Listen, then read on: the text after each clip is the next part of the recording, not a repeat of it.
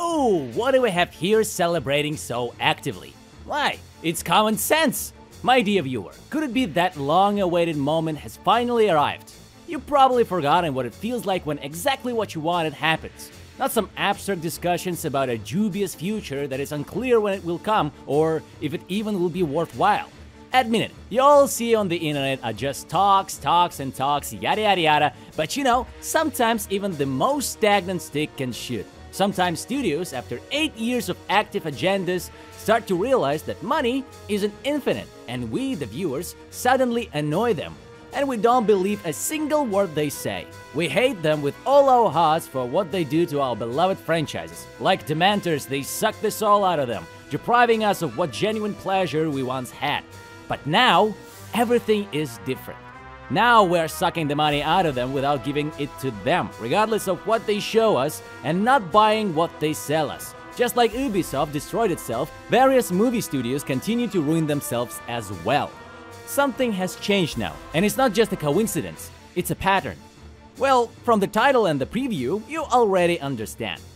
Velma hasn't just died as it did a couple of months ago, this anthill of hatred towards viewers has finally burst into blue flames. And there will be no more damn Velma. Using the unfortunate example of Velma, everything I said above correlates perfectly. It's all interconnected. Using the same Velma, a series that was collectively deemed the worst of the worst in the history of cartoons by us, internet dwellers. And through this disgusting piece of, well, I can't even call it cinema, we witness how justice triumphs and how we decide, we, the viewers. The crash of Velma even reveals to the average viewer how these Hollywood antics work. Because of this, bloggers have a reason to talk about it. Yes, that same Velma, which is a creepy self-insert of the author, with a complete deformation of the character into an incomprehensible something, with Scooby-Doo completely cut off the show about Scooby-Doo, with Shaggy turning into who knows what, with Daphne selling substances to minors, and I won't even start on Fred and how Velma worked on her mother's corpse. Oh dear god, this series finally got what it deserved. It's not being renewed, and finally, it's being triumphantly cancelled. And appropriately, this project is being condemned. Recently, the final Halloween special was released, which will be its last breath, and we, dear friends, should rejoice at this, for it's the first sign that everything is heading toward the better. We're witnessing how studios are gradually starting to heal from this, well, Let's call it an acute social political disease. Some call it an agenda, others differently. And you know what I mean. Dear God, at first I didn't even intend to watch this. I just wanted to scream along with you and mock this Velma. Because what else is there to do with it? I mean, it doesn't even deserve to exist. After all, Velma is just as a project so worthless that no one should watch it, like intros of South Park. And screaming that Velma died somewhere in the second season is actually encouraged as a symbol of rationalism. Oh my god, what did, what did I just say? This abomination is finally getting cancelled. On our channel, we've already made several videos about this circus, and uh, to be honest, I'm happy that this nightmare is finally ending. I really hope we forget it. Although, no, we shouldn't forget it as a lesson for all future generations about what not to produce. Ugh, fine. Why did I even watch this? And I keep asking myself this question. After all, no one in their right mind would voluntarily watch this. But let's talk about something good because the special is actually magnificent. The perfect finale. And do you know why? Because in the end, Velma goes to hell. Oh my god, did you see the audience reaction? They are also thrilled that this vile thing is finally ending. It's just a regular Halloween special where Velma's ghost investigates weird stuff after the second season. There are paranormal cults doing all sorts of nonsense, continuing to disgrace the legacy of the Scooby-Doo franchise. Yes, still without Scooby, in a cartoon set in the Scooby-Doo universe. There is no Scooby. Oh my god. I've been repeating this for for two years, I guess. It's unbearable. The, the most important thing, in the end, she ends up in hell. And she resurrects. Oh my god, how much longer? I hate this sensational orange abyss. Uh, excuse me. I I don't know how to review this series. I I mean I hate it. I really hate it. It shouldn't exist. Why did they make it? For for who? Why?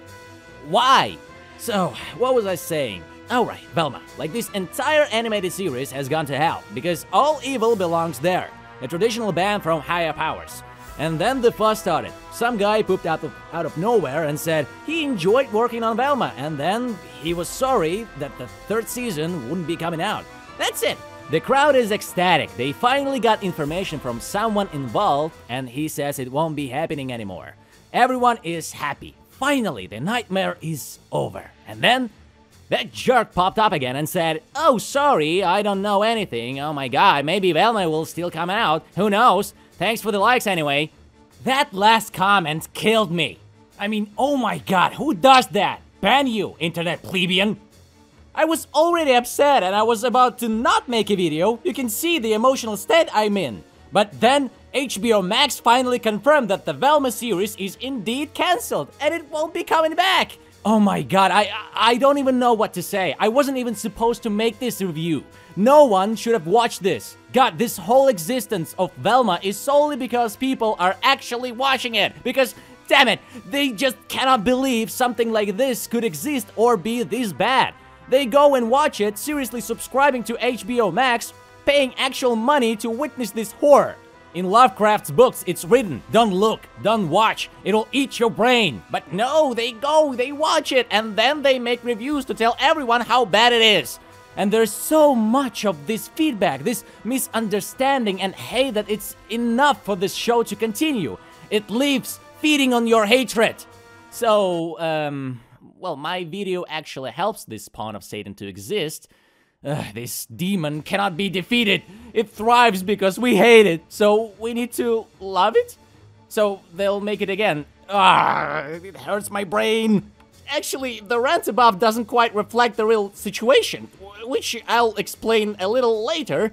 Just wait until I finish losing my mind. But I had to make sure that this special was really the end.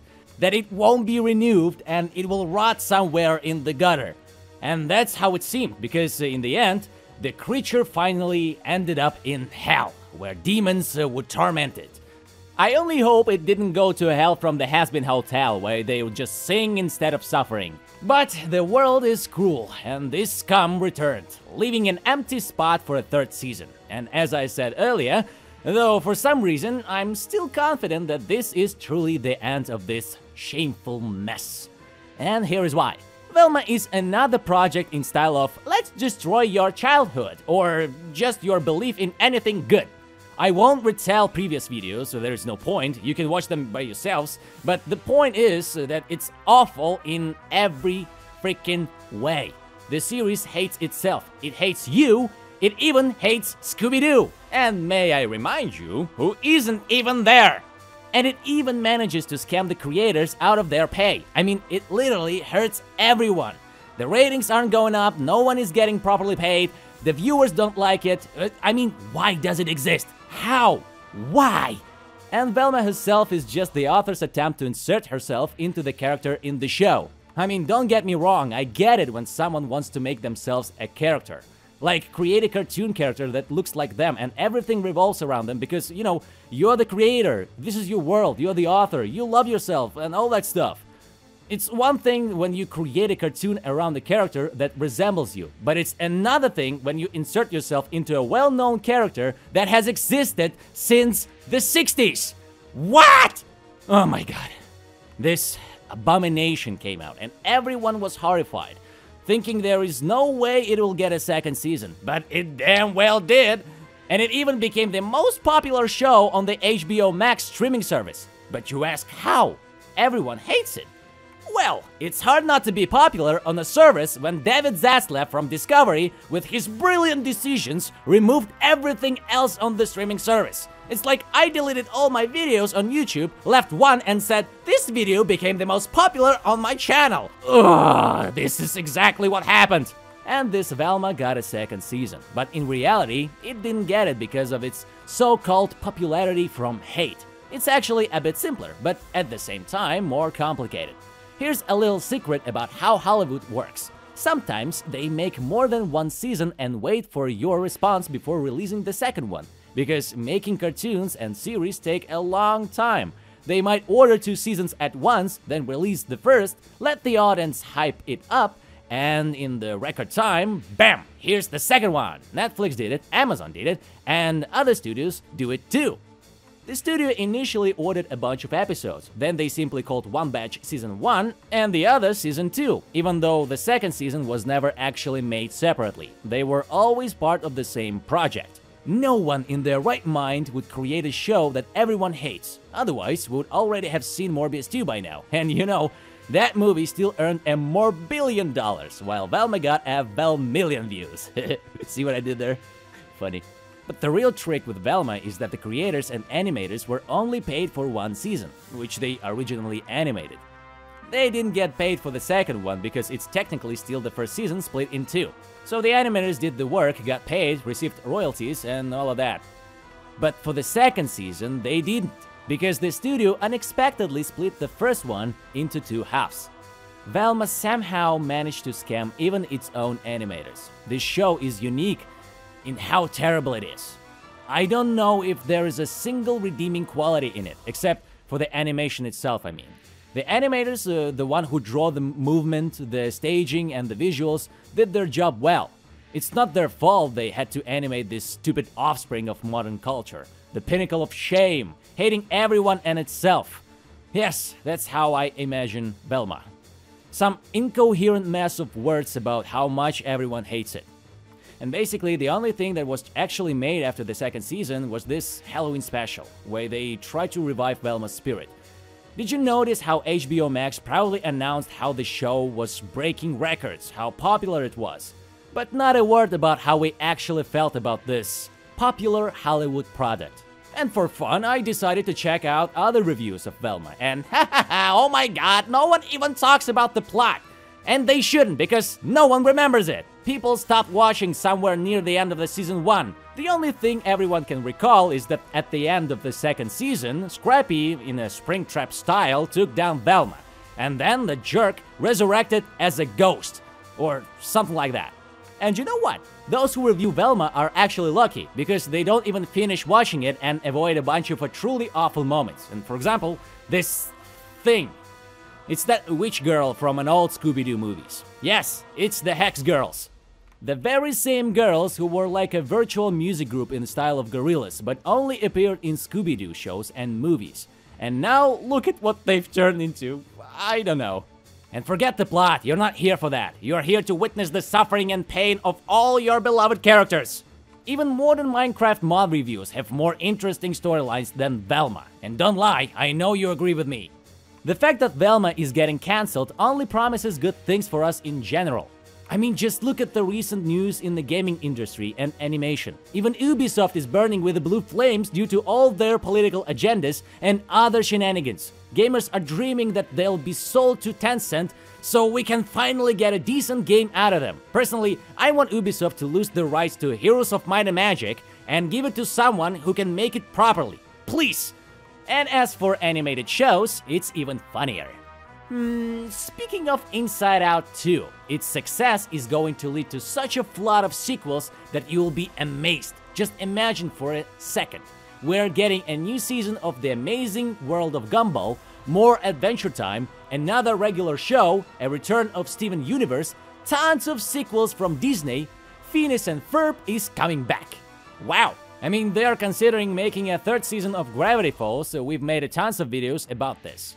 Even Genndy Tartakovsky is starting to remember he his Symbionic Titan unfinished. A new season of Primal is coming next year. And someone even said there are rumors about a continuation of Megas XLR. Some of these titles might not mean much to you, but as a cartoon fan, I just listed a whole bunch of a juicy, delicious cake. If even one of these comes out, believe me, I'll talk about it for three and a half hours straight. Okay, maybe, maybe less. I hope less, or I'll go insane. We're going to get such a crowd of sequels and follow-ups. Give thanks to Inside Out 2 for being a sequel made without any gimmicks, and it raked in the cash. And do you know why it made so much money? Disney personally went to them and said, put in less queerness. Yeah, they literally went and bluntly said that, and voila, the best animated film ever. I mean, in terms of views, showings, and uh, box office. Yeah, I'm writing the rest of this without the script. just on emotions. And like I told you, three years ago, studios just copy each other to copy each other's profits. They want money. But because of this, they often copy their own mistakes and step on the same rakes for 8 years. But if they now copy how Disney and Pixar made Inside Out, then uh, literally the entire list of animated shows and sequels I just mentioned will be released and it will be just perfect. And even more, there's Moana 2 coming up, and new Zootopia, and who knows what else is being prepared. Imagine if all of that comes out and it's done right, just right, with no gimmicks. Inside Out 2, it's not brilliant, it's just good. Notice, it's just a good cartoon, and that was enough to become the best animated movie in the history of animated movies. Literally, it's number one. That was their genius plan. For eight years of publishing agendas, uh, they lowered our expectations so much that they didn't need to make masterpieces. Because now, any decent work is a masterpiece. Well, it's probably a good strategy, I guess. So, one way or another, my dear friends, we're theoretically looking at a right and bright future. And yeah, I'm spinning the same talk again, but facts are facts. One piece of agenda-filled garbage like Velma is dead. Apparently, others are starting to die too. We'll see what happens next, and believe me, I'll be the first one to tell you about it. Or at least I'll try. Making videos fast is hard, you know. Well, make sure to like and subscribe so you don't get lost in endless expanse of YouTube. And I'll see you all in the next one.